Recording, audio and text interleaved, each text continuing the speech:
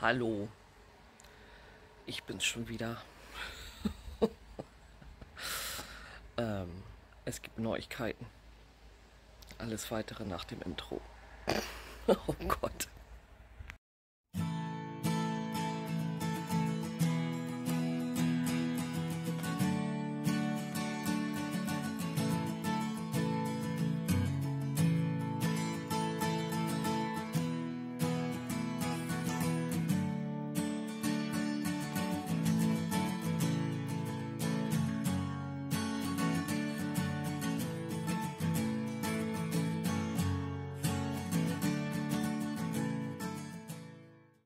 Guten Morgen. Es ist 6.30 Uhr. Ähm, ich trinke mich noch einen Kaffee und dann muss ich gleich zur Arbeit. Naja, ich habe ja gesagt, es gibt Neuigkeiten.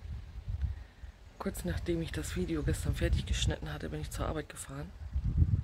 Dann kriegte ich eine Nachricht von meinem Mann. Ähm,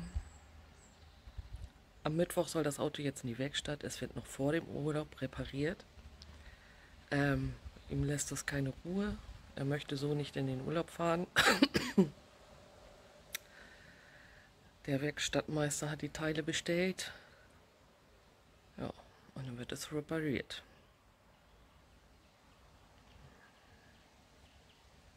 Nützt ja nichts. Ich habe nur gedacht, wie soll das gehen? Mittwochmorgen das, Werkst äh, das Auto in die Werkstatt und Mittwochnachmittag haben wir den Termin mit dem Wohnwagen beim TÜV. Also ich denke nicht, dass Mittwochabend das Auto schon fertig sein wird. Schauen wir mal, wie wir das machen. naja. Mal schauen, ob ich mich heute noch mal melde. Ansonsten morgen, ne? Beim Wohnwagen auf links drehen. Junge, Junge, Junge, das wird hier echt nicht langweilig. ich lache zwar, aber innerlich könnte ich kotzen. Guten Morgen, liebe Leute. Wie so oft kommt es ja mal anders, als man denkt. Wir haben heute schon Dienstag und ich habe den Wohnwagen nicht auf links gedreht. Noch nicht. Aber da will ich jetzt mal beigehen. Ähm, ich bin so unmotiviert. Ich freue mich tierisch auf den Urlaub, aber wenn man Pläne macht und die funktionieren nicht so, wie man sich das vorstellt, dann hat man irgendwann keinen Bock mehr. Aber es nützt ja nichts. Ich muss jetzt ja mal zusehen. Also geht's jetzt los. Habe ich Lust? Nö. Aber ich muss ja zusehen, ne? So, liebe Leute. Ich ziehe jetzt erstmal die Betten ab. Und das habe ich schon abgezogen. Jetzt mache ich die Kinderbetten. Ähm, dann wasche ich erstmal die Bettwäsche. Dann werde ich hier einmal unterm Bett ausräumen. Ich glaube, da sind Sachen drin, die brauchen wir gar nicht mitschleppen. Ähm, unnötigen Ballast loswerden, würde ich sagen. Ne? Also dann ziehe ich jetzt erstmal schnell die Betten ab.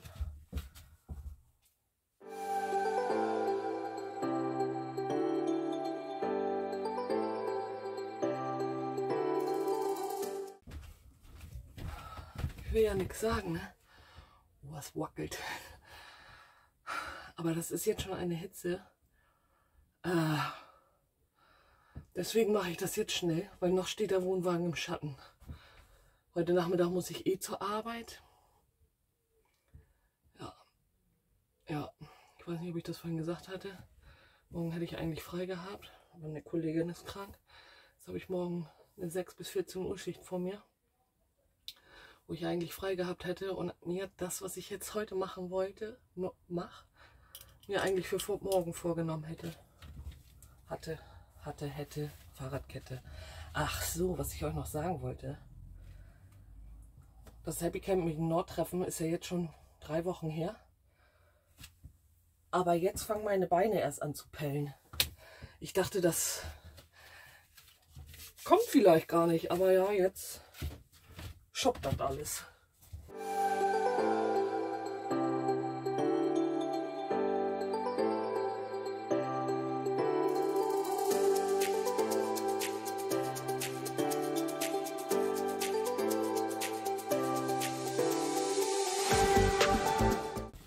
Oh,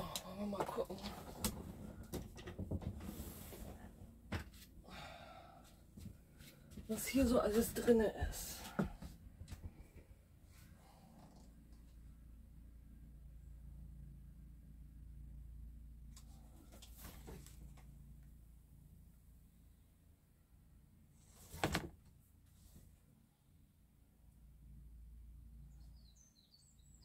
Gerade,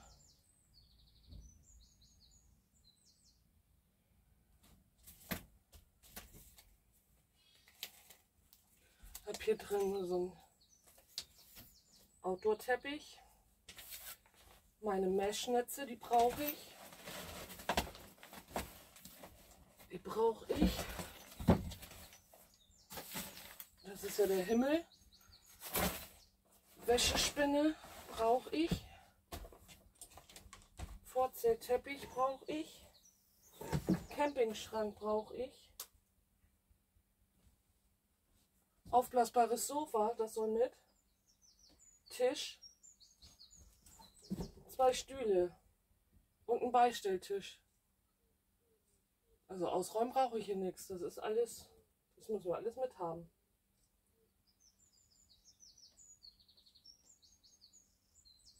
Gut, hat sich das erledigt. Da brauche ich nichts ausräumen gucke ich hier noch mal rein. Ähm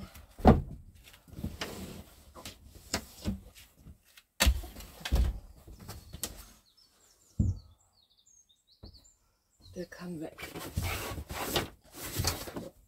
Haben wir einen Schlafsack drin. Den benutzt eh kein Schwein. Der kann raus.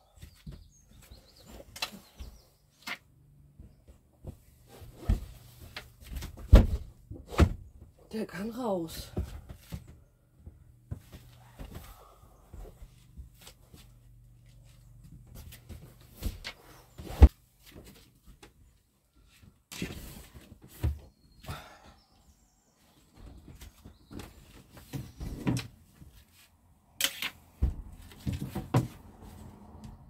What's that?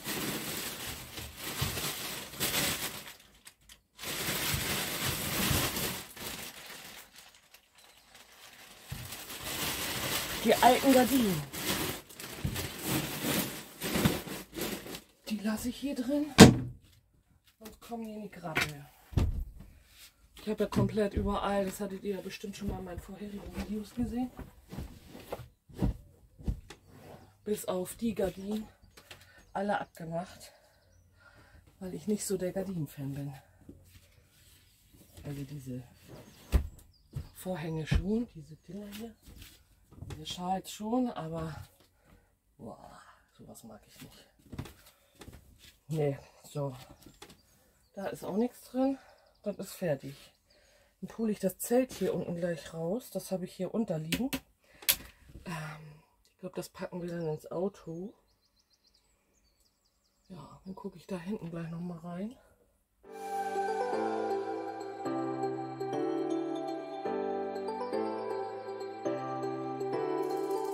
Ich war letztens schon mal shoppen. Hoffentlich reicht das für einen Urlaub. Denn das war ein Angebot. Warte. Was immer noch mal mitkommen. Spaghetti gehen immer. Äh, Volo. Mein Kind mag gerne Ravioli. Also so schnelles, schnelles Camperessen. Für mich. Und hier, wie heißt das? Pesto für die Spaghettis. Oh. Dieser Schrank, ne?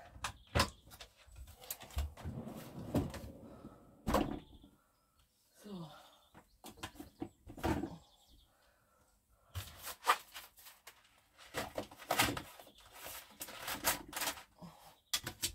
Boah, gestern bin ich fast abgedreht, ne? Alter, was für eine Scheiße.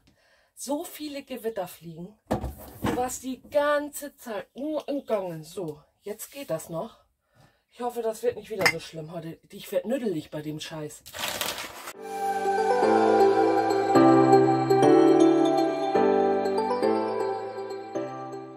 Unsere Schüssel war ja auch wieder kaputt. Die ist in Karlsminde ja umgeklappt.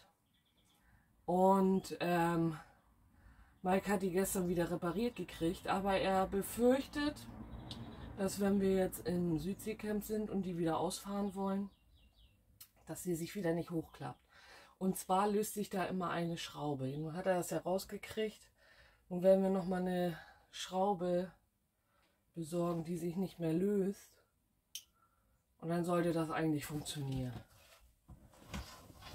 Technik, Technik, Technik. Ey. So. Was haben wir hier drinne? Nix. Sehr gut.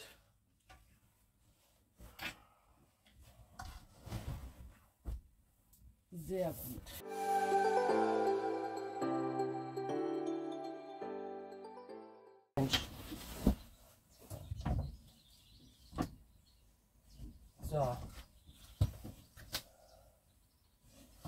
Das muss mit, das muss mit. Was ist das denn hier?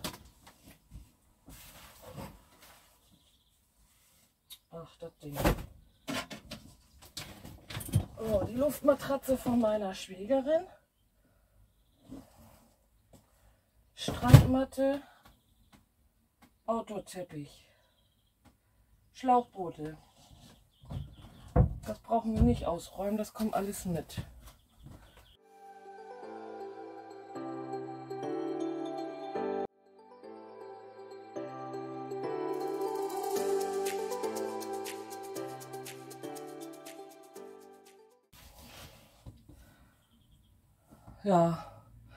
Das restliche Putzen, das macht eigentlich nicht wirklich viel Sinn. Das brauche ich alles, das Kabelkran, meine Lampen.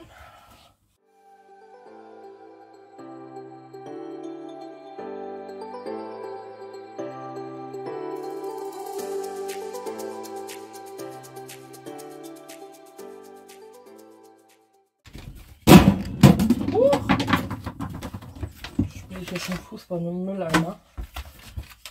Habe ich ja gerade gefunden.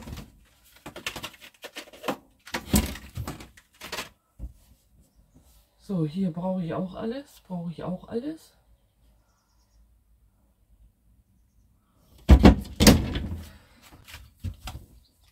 Jetzt weiß ich, was ich ausräumen kann. Oh, was ist das? Was ist das denn?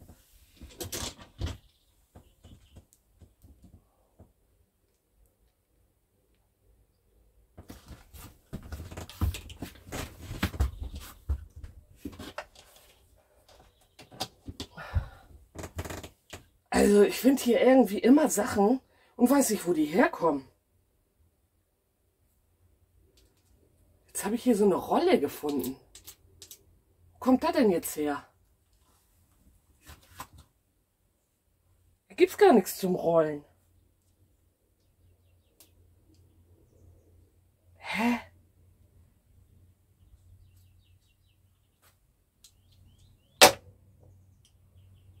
Komisch.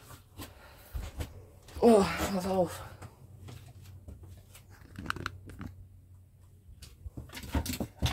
Das ist ja mein Waschschüsselschrank, ne? So. Und putzi putzi Kram und so.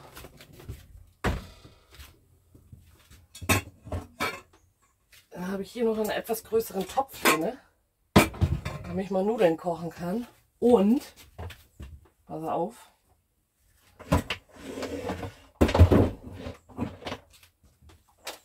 unnützen Ballast. Die benutzen wir nicht. Also raus damit. Wo ich das jetzt hier schon gerade ausgepackt habe, kann ich das hier mal schnell auswischen.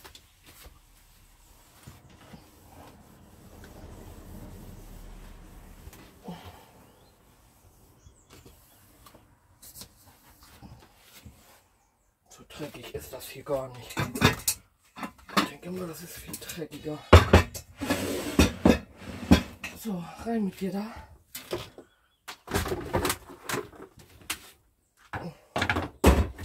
Jetzt passt die Waschschüssel da viel besser rein. Super.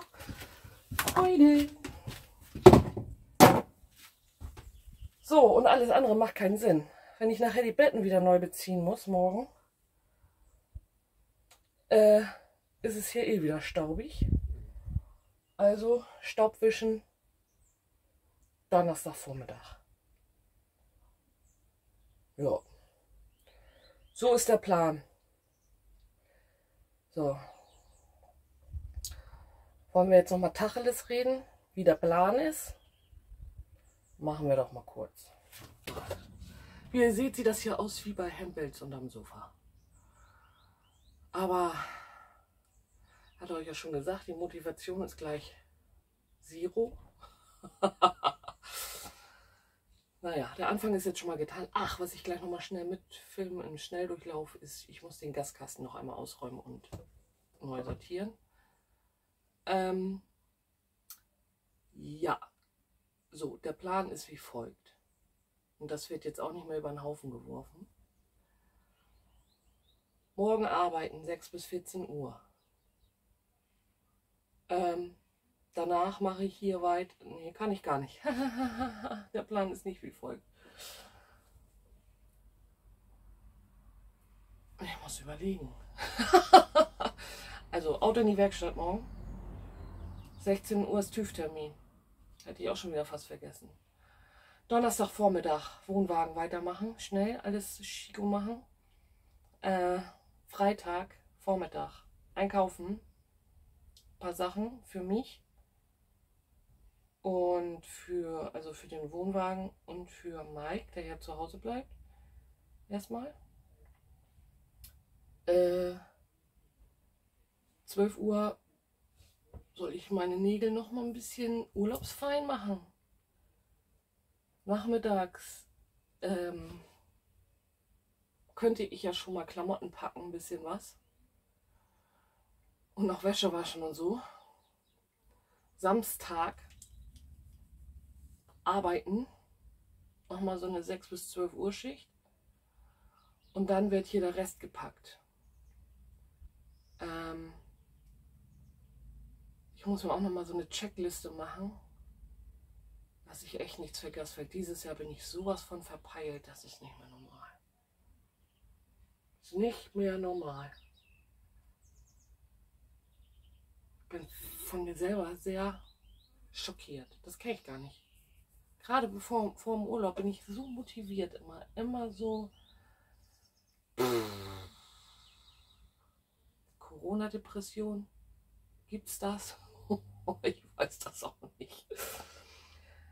Naja, wir kriegen das schon hin. Es wird bestimmt noch vor dem Urlaub fertig. Der Plan für Sonntag ist, wir dürfen ja, also wir haben ja eigentlich schon ab Samstag gebucht und könnten ja Samstag schon hinfahren, wollen wir aber nicht. Weil vor bei Hamburg ist es so Nadelöhr wieder, Elbtunnel ja sowieso immer dicht. Ähm, und dann ist da auch noch eine Baustelle, wo es, glaube ich, über mehrere Kilometer einspurig ist. Da haben wir gesagt, wir fahren Sonntag ganz früh los. Glaube, wir wollten irgendwie so gegen fünf oder so los. Hatten wir letztes Jahr auch vor, aber da sind wir erst gegen sechs losgekommen. Aber das hat uns sehr gut gefallen und wir können dann ja auch schon ab acht, ab sieben sind die Schranken auf, ähm, ab sieben auf dem Platz. Und dann können wir schön in Ruhe aufbauen. Dann ist es wahrscheinlich auch noch nicht ganz so heiß und sind vielleicht zum Mittag fertig. Hoffe ich auf jeden Fall mal. Dann holen meine Eltern Mike wieder ab. War auch anders geplant, aber Pläne sind dafür da, um sie auch über den Haufen zu schmeißen. Ne? Das ist ja unsere Devise jetzt. Das gehört sich jetzt ja so bei uns. also, gut. Für dieses Video mache ich jetzt Schluss. Dann nehme ich euch irgendwie morgen wieder mit. Kann ja mal die Abfahrt filmen. Ich weiß ja nicht mal, mit welchem Auto er den Wohnwagen hier zum TÜV fahren will. Er muss nämlich nach Heide. Keine Ahnung. Unser Auto ist ja in der Werkstatt. Ein Mann macht das schon. Gut. Das soll es erstmal gewesen sein. Ich schaue mal, was ich hier jetzt noch so mache. Und melde mich denn morgen wieder. is.